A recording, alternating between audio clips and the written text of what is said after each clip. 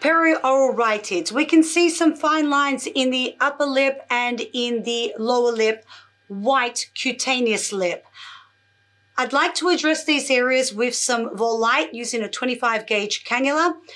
Before injecting, the vessels that I'm concerned about are the superior labial artery and inferior labial artery. So before injecting, let's look with ultrasound what we can identify. Left upper lip, we can identify now with color Doppler the superior labial artery.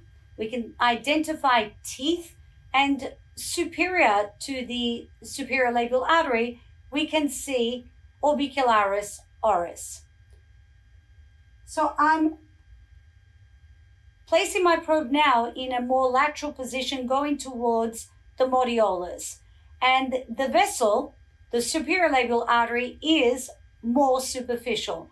But as I advance with my probe in a more medial direction, we can see that the superior labial artery, a fairly large vessel, is located deep to orbicularis oris. So what I'd like to do now is just have a look in the cutaneous lip and see whether there are any vessels just superficial to orbicularis oris. and the zone is clear. While I'm on this side, I'm looking now on the lower lip and seeing if I can identify with color any vessels because I'll be injecting a small amount of volite in this area and we can see an artery that's pulsating line superficial to orbicularis oris and that's just inferior to the red vermilion.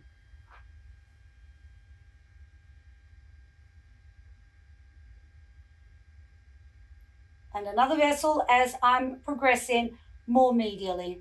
Very tortuous, the inferior labial artery, and we can see it present in the lower lip.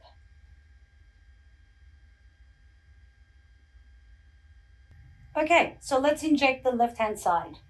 What I'd like to do is a technique that I learned from Dr. Peter Cullen called the platform technique and place a layer of volite just gently in the cutaneous upper lip to give some support.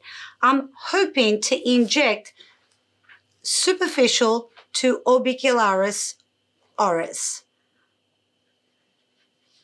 So the aim is 25 gauge cannula coming straight to the philtral column. Not fun.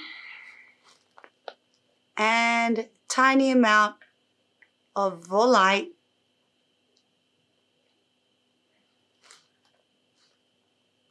placed as a layer to support the upper lip, the platform technique. And it's not fun.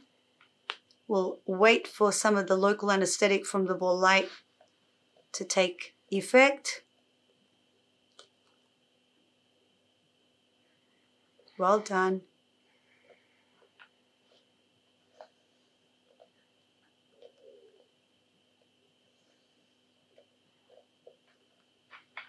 Well done.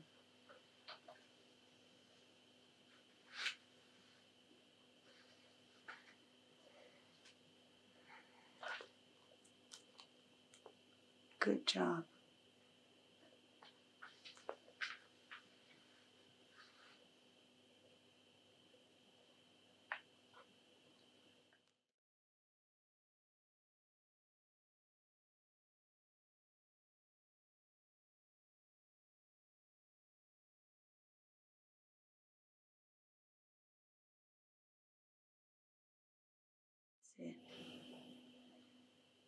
Well done, well done, well done.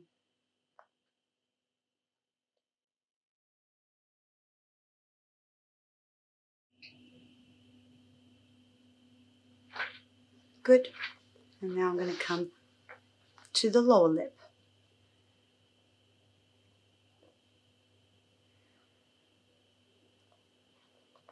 and you're not going to love me. Good job.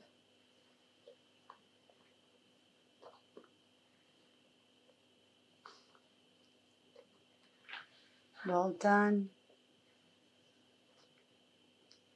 And you're nearly finished.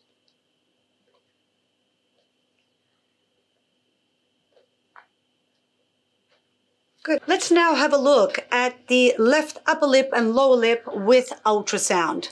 So let's start with B mode.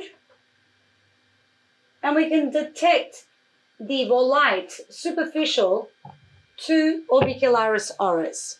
Let me just double check with color what our vessels are doing.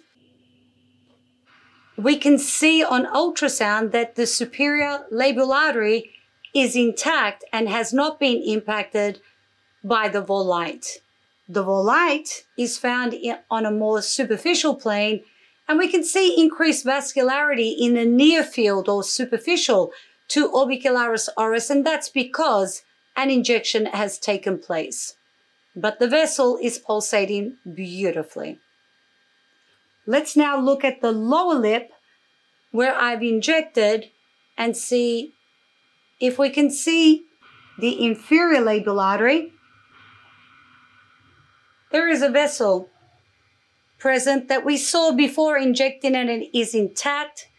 It is coming from inferiorly and making its way up to the lower lip. But the volite has been placed in a subcutaneous plane and has not disrupted the flow of the artery. Left hand side completed.